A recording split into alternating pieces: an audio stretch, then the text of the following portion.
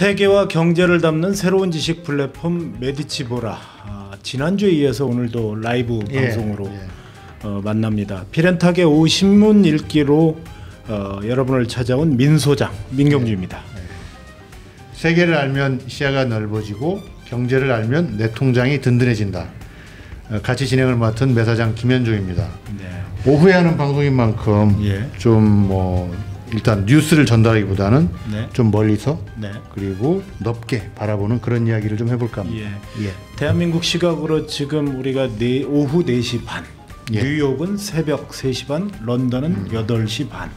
지금 이런 전 세계 지금 우리 유튜브 라이브를 아마 생방송으로 또 보는 분들도 많지 않겠습니까? 벌써 그렇게까지 되나요? 아, 그러면 앞으로 꿈- 꿈꾸는 자에게는 세상이 열리는 거죠. 어. 오케이, 예. 알겠습니다. 자, 오늘 그 매사장께서 처음으로 픽한 기사는 어떤 겁니까? 예, 뭐 뉴욕과 런던을 얘기해 주셨으니까 세계 8위의 경제 국가 예. 한국의 경제 정책을 끌고 가는 사람들은 누구인가? 예. 어, 어제 이제 금융감독위원장의 이병래, 이병래. 예, 그리고 이제 국무총리실 국무조정실장의 윤종원, 네. 음, 얼마 전까지 이제 대통령 경제수석 하시던 분이죠. 네. 이분이 이제 내정이 됐어요. 아직 저기는 아니고. 그래서 그 다음에 이제 제가 오늘 드리고 싶은 말씀은 행정고시 재경직 출신의 에, 엘리트 관료들이 대거 진출한 것이 이 정부의 특징이다. 과거에 이제 모피아라고 그래서 재무 관료들이 그 자리를 많이 차지했잖아요. 그건 있는데 네. 이를테면 진보 정권에서는 음. 크게 이제 장관이나 음. 청와대 수석이나 이런데 세 군데에서 이제 일 인재를 리크루트했습니다. 크게 보면 네. 이 관료가 있고 관료, 그 다음에 두 번째 그룹으로 학자들이 있죠. 학자. 이를테면 지난번 정부에서의 김, 교수 김상조, 장하성, 장하성. 이런 네. 사람들. 세 번째가 이제 시민사회단체 사람들인데 경제 정책도 같지만 또 이제 사회 분야라든지 정치 쪽에 이제 네. 많은 자리를 맞이했는데 이번 정부에서는 현재까지는 완벽하게 관료들 다시 얘기하면 아까 처음에 말씀드린 대로 행정고시 재경직에 합, 합격한 네. 학력 엘리트들이 네. 다 하고 있다. 아시다시피 지금 그 어, 청와대 비서실장인 김대기 비서실장도 역시 마찬가지고. 김대기. 음, 그다음에 최상목 경제수석 네. 그리고 경제 담당 그 부총리라고 할수 있는 추경호 기재부 장관도 네. 역시 행정고시 출신의 경제관료. 네. 저 위에는 한 분이 더 있죠. 여기 바로 제가 화면을 보여드리겠는데 바로 한덕수 예, 예, 국무총리. 예. 그야말로 가장 최 상위에 있는 예, 예. 뭐 기재부 출신 과거에 뭐 여러 가지로 했던 그런 분 아니겠습니까? 근데 또 하나 재밌는 게 어제 이제 민주당에서 네. 다수당인 민주당에서 어, 후반기 국회의장 후보를 뽑았는데 김진표 그거네 김진표 의원. 예. 근데 이 양반도 그 행정고시 재경직으로 들어가서 어, 경제부총리 했고 어, 참 어떻게 보면 가장 대표적인 그래서 지금 어, 어, 정부는 한덕수 국무총리라는 70대 어, 초반에 어, 이분이 이제 한 끌고 가고 또 입법부는 또 우리 김진표 네. 어, 의자 국회의장 내정자가 또 끌고 가는데 물론 이제 김진표 국회의장 내정자 같은 경우는 어제도 이 기자회견에서 예. 나에게는 민주당의 피가 흐른다 뭐 이런 네. 얘기를 했지만 사실 또 이 양반이 굉장히 보수적인 면도 있잖아요. 이를테면 그럼요. 뭐 과세 문제라든지 음. 종교인 과세 문제라든지 이런 데 있어서 현실론을 많이 택했는데 과연 국회의장으로서 혹시 그 경제 정책이 이슈가 되고 여야가 격돌할 때 어떤 쪽 편을 들지 상당히 좀 앞으로 주목해서 봐야 될 대목 같습니다. 제가 2001년도 2년도에 이제 그 기재부를 음. 출입을 했거든요. 아, 그랬어요? 예. 근데 이제 김진표 의장 그 내정자 음. 같은 경우에는 뭐 당시 공보관도 하고 그다음에 그 당시에 정말 기재부 관료들이 있었는데 지금까지도요. 예. 각종 협회라든가 지금까지 뭐 전경련이라든가 이런 곳에 그 당시에 국장들이 여전히 포진해 있는 걸 보면 아, 예, 예. 이분들 지금 20년이 지났는데도 계속 그런 자리에 있는 걸 보면 자기들만의 리그가 있는 것 같아. 지금 그런 우려를 뭐, 지금 제기하시는 예, 거죠. 제가 그 관련해서 두 가지를 말씀드리고 네. 싶은데 첫째는 공무원은 누구에게 충성하는가? 누구에게 충성할 것 같습니까? 국민에게 충성해야 되는 거 아, 뭐 아닙니까? 그거 이제 헌법에 나오는 얘기고요. 음. 헌법이나 이제 선언문에 나오는 얘기고 예. 언뜻 생각할 때 공무원이 자기를 중용해 준 대통령이나 예. 또는 뭐 산하 기관장이나 이런 사람 같으면 장관 음. 언제 충성할 것 같죠? 네. 저는 좀 다르게 봅니다. 어. 저는 청와대 옛날 경험이 있으시잖아요. 아이 뭐 그걸 떠나서 음. 저는 공무원들하고 이렇게 얘기를 해보면요, 예. 이 사람들이 가장 신경 쓰고 두려워하고 하는 거는 자기하고 같이 예. 고시를 합격한 음. 선배, 후배, 친구들의 평판이에요. 쉽게 얘기해서 어, 은퇴하고 같이 골프 치는데 음. 아예 아무개 씨는 뭔 선거를 나갔어 음. 이런 얘기를 듣기 싫습니다. 떨어졌을 때. 아. 그러니까 선거 떨어지고 나면 온갖 사람이 다 이 저 비아냥되는데 네. 제일 아픈 게 자기와 함께 공무원을 했던 음. 음, 사람들이 당신은 왜 공무원 퇴직하고도 어디 산하기관이나 뭐 협회 가서 3년씩 6년 정도는 예전에는 사- 세 번씩도 갔습니다. 네. 사는데 지장 없는데 왜 괜히 그 정치한다고 해가지고 떨어져가지고 그 스타일북이냐 뭐 이런 얘기를 이제 전직 부총리 한 분이 저 밥 먹다 하는 얘기 그 그때가 제일 아팠다고 예. 그러더라고요. 아 이분들이 두려워하는 게 음. 그거고 달리 얘기하면 이분들이 충성하는 거는 바로 그런 이 또래 그룹들이에요. 지금 그 말이 저도 이제 좀 이해가 가는 게요. 20년이 흘렀지만 그분들이 각종 협회라든가 이익단체나 뭐 이런 곳에 음. 계속 포진해 있는 걸 보면 정권은 유한하지만 기재부 관리들 특히 행시 음. 출신들 음. 그 재경 기- 재경직이라든가 이런 곳의 관료들이 생명력은 영원하구나라는 걸 저도 지금 예, 느끼고 예, 있거든요. 예. 어, 그런 부분들에 대한 일반 다른 공무원들은 굉장히 또 불만이 있더라고요. 같은 행시 출신이라도 음. 재경직은 늘 엘리트 의식들이 있고 자기들끼리 계속 어, 가는 부분이 있는 반면에 지금 말씀하신 대로 다른 공무원들은 빚못 보는 분들도 많거든요. 어, 그 관련해서 이제 두 번째 얘기를 드리려고 하는데요. 네.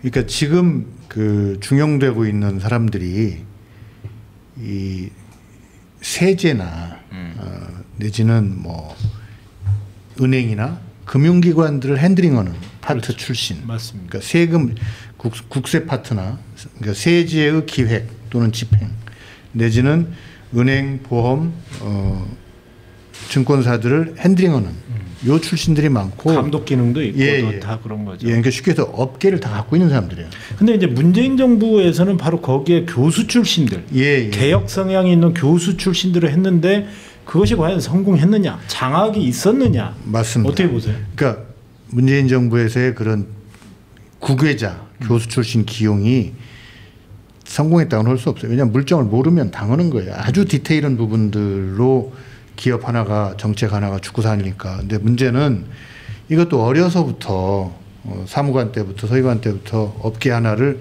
내 자식 my boy 음. 다루듯이 키워온 사람들이 경제 정책의 주도권을 갖게 되면 이거 이것도 또 좋은 일만은 아니죠. 제가 제가 아쉬운 건 뭐냐면 네. 예전에는 경제 그 기재부에 크게 두 개의 흐름이 있습니다. economic planning 파트 예전 예전에 경제 기획원 파트가 예, 있고요. 그렇죠. 기획 파트가 있고. 그 다음에 이제 재무부 파트, 그러니까 세금과 예산을 음. handling하는.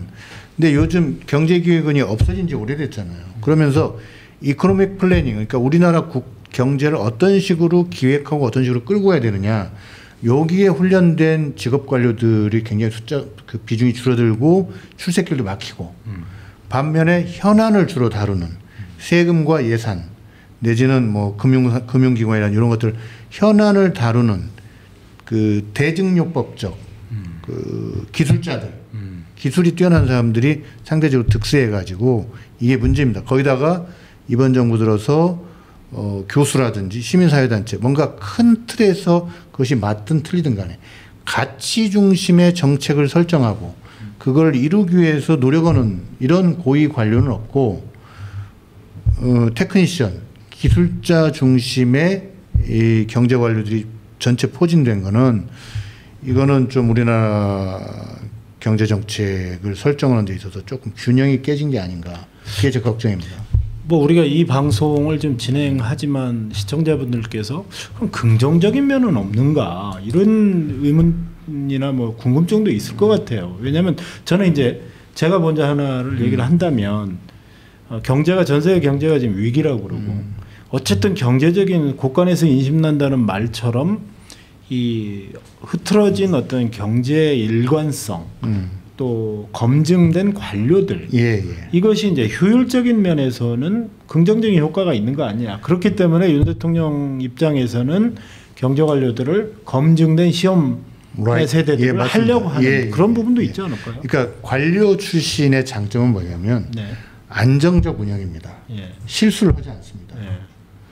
어, 다시 얘기하면 대증요법적 그러니까 어 이- 예컨- 예컨대 이명박 정부 때 보세요 미국에서 금융위기 생겼잖아요 그래서 이제 오오오 하다가 정말 우리나라까지 상륙하니까 최경환 당시 그 부총리 중심으로 해가지고 어 빚내서라도 집 사라고 사실 언발에 오줌 누는 식의 이 그래서 불을 끄는 이런 건 성공했어요. 그러니까 그 정책의 투, 수단을 동원해 가지고 이 상황 관리는 잘해요. 네. 다만 조금 아쉬운 건 뭐냐면 어, 좀 느려요.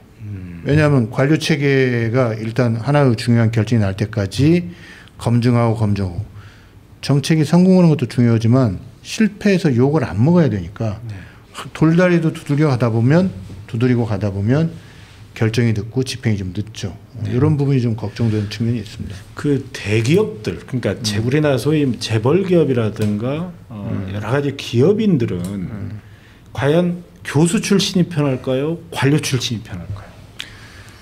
기업은 관료가 100번 편하죠. 일단 젊은 시절부터 예, 그 교류가 많습니다. 똑같은 서울대 경제학과를 나와서도 제 기업으로 간 사람은 부처로 간 자기 동기들하고 친하게만 잘 지내면 임원까지 다는데 별 문제가 없습니다. 취재 비공식 취재 기자 역할만 잘해도 음. 그리고 상대가 뭘 생각하는지 잘 알고 네. 근데 학자나 시민사회단체에서 온 사람들은 의욕이 앞서다 보니까 네.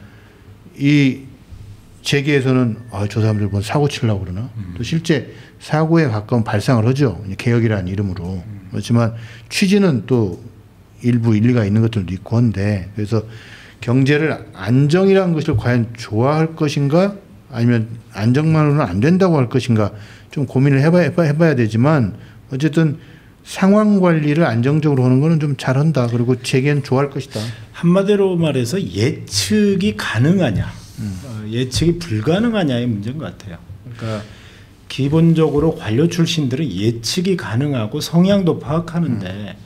학자들의 출신들은 어디로 튈지 모르는 예, 예, 부분들, 예. 관계성이 형성이 되어 있지 않는 거. 근데 사실 그걸 따지고 보면 잘만 하면 그런 참신성이 어, 좌고우면하지 않고 관료들을 다룰 수 있어야 되는데 문제는 그걸 같이 실력으로 제압하고 같이 갈 수 있느냐 이 부분 그리고 어쨌든 실물과 그런 것의 이론이 같이 그 병합이 돼야 되는데 학자 출신들의 그런 이론에 근거한 거에서 어떤 실패 사례들도 조금 있었던 아쉬움이 있지 않나. 저는 그 불교에서 쓰는 말로 이판 사판이 있잖아요. 네, 그렇죠. 이판은 그 학승입니다. 어, 도를 닦는 학승이고 사판은 행정승이거든요. 네. 불교도 이판과 사판의 균형이 이루어져야 됩- 됩니다. 음, 행정도 추구해야 될 원대한 목표가 있고 그거를 실질적으로 잘 실행해 나가는 사람이 같이 필요한 건데 지금의 이 경제 진용은 후자 어, 실질적인 그 운영자들만 있어서 좀 걱정인 거고요. 이 사람들 잘하는 게 있어요. 요거 하나 좀 고- 예. 보, 보여줄래요? 요. 네. 매일경제 오늘 톱 예, 기사죠. 예, 예. 재벌 그 삼성이 360조, 현대차가 63조. 국내 투자를 쏟아낸다 이렇게 했습니다. 이게 이제 이 어제 동시에 예. 삼성, 현대차, 롯데, 한화 다 발표했습니다. 네. 어, 좀 짜고 친 것 같지 않아요? 이런 것 같아요. 바이든이 방한해 갖고 삼성과 현대자동차를 갖고 미국의 공장을 건설한다라고 했잖아요. 그러니까 대번에 우리 국민들 사이에서 아니 왜 우리 기업이 삥 뜯기냐? 아니 뭐 그렇게까지는 아니. 그러니까 어쨌든 그런 얘기들이 이제 네. 댓글에 네. 올라오니까 자, 자 그러면 아니 그래서 이제 오늘 신문들에서 재벌 기업이 딱 그걸 알고 감각 있게 또 국내 투자분을 싹 쏟아낸 게 아닌가. 아니 그러니까 그- 저는 아니 그러니까 예, 이것이 예. 바로 그 기재부 관료들 출신들이 바로 이런 걸 안다는 진짜- 거죠. 아니, 감각. 아, 아는 게 아니라 예. 잘 해요 이런 걸. 그러니까 아니 기재부 장관으로 간 추경호 씨 같은 사람 뭐 하고 있겠어요. 대기업이 아는 사람 통해서 야 좀 대통령 체면 좀 살리게 투자 계획 좀 화끈하게 발표해. 음. 네. 응? 뻔한 거고 대통령 비서실장 김대기 씨도 그러니까요. SK나 뭐 이런 데 있다 간 사람인데 뭐 하겠어요. 이 사람도 다 그 과천 경제부처에서 잔뼈가 굵은 사람인데 네. 뻔하죠. 제기다 전화해서 야 대통령 믿고 좀 투자 계획 좀 화끈하게 발표해봐. 이거 요청하는 게 이 사람들 일이고 이래 그래서 한꺼번에 쏟아진 거죠. 그래서 제가 역대 대통령 이- 뭐 예를 들어서 노무현, 이명박, 박근혜, 문재인 제가 초기 기사를 여기 들어오기 전에 쭉 검색해 봤거든요. 초기에 똑같은 얘기 나왔어요. 그러니까 내가 야 내 체면 좀 봐줘요. 내가 어디 어디 갔는데 음. 뭐 어차피 니네 투자할 것도 있고 그러니 좀 이번에 묶어가지고 한번 딱 해주고 해도 경제 살리는 분위기 한번 만들어 보자. 네. 뭐안 봐도 비디오 아닐까요? 저는 그래서 거꾸로 진짜 5년 뒤에 이거 진짜 했는지 검증하고 이런 기사를 찾아보니까 없더라고요. 아 그래서 제가 예. 기사를 보니까요. 네. 이쓴 기자가 예. 그래도 그 아 참 한덕수 총리도 또 가만히 계셨지 않았을 거예요. 예, 그렇죠. 분명히 아니 한덕수 총리가 그 법률사무소에 있으면서 돈 많이 받으면서 재계 사람들 로비를 했다고 할 수는 없지만 코칭을 해줬을 거 아닙니까? 예. 입장이 바뀌어서 이제는 아 내가 총리 됐는데 우리 같이 나라 경제 한번 살리지요. 한번 좀 투자 좀 화끈하게 해주십시오라고 할 때 그 말을 거절할 수 있는 대기업이 과연 얼마나 있겠냐. 근데 이게 재밌는 게요. 이 보면은 음, 여기 매일경제 3면 기사에 삼성그룹이 이제 뭐 앞으로 5년간 450조 투자하고 80%인 360조를 국내 투입하겠다는 제일 큰 투자 계획을 발표해서 이게 이제 흔히 기자들 말로 3면 메인박스에 왔단 말이에요. 근데 네. 여기 읽어보면 재미있는 규절이 있어요. 지난해 삼성그룹은 향후 3년간 240조 원, 연평균 80조 원을 투자하겠다고 발표한 바가 있다. 이번 발표는 지난해에 비해 연평균 10조 원, 5년간 50조 원의 투자 금액이 더 늘어난 숫자다. 업계에서는 어, 바이오와 신성장 IT 분야의 투자 규모가 크지 않은 것임을 감안할 때 새롭게 늘어난 투자 금액의 상당수가 반도체 분야에 집중될 것으로 보고 있다. 네. 이미 작년에 3년간 240조 발표했고요. 예. 그래서 이제 조금 늘었어요. 5년간 450조의 절반 이상은 작년에 발표했던 그 계획이고 다만 계산해 보니 연평균 10조 원이 좀 늘었다. 그리고 이렇게 늘어난 투자 금액의 상당수는 반도체 분야다. 반도체가 지금 경쟁이 치열해지고 있잖아요. 그렇죠. 오늘 아침 어차피 투자해야 되는 거예요. 오늘 아침 피렌체 식탁에도 그 미국이 치포 동맹 그 제안해가지고 뭐 한국 반도체 업계가 가야 될 그 길에 대해서 좀 자세히 얘기했는데 어쨌든 반도체 경쟁이 치열해지니까 굳이 굳이 정부에서 투자 좀 많이 해라고 하지 않아도 네. 삼성전자 같은 데는 일년에 10조 원씩 반도체 부분 투자 더 해야 되는 상황입니다. 네. 어, 단지 이제 묶어서 했다는 데 의미가 있겠죠. 네, 그렇군요.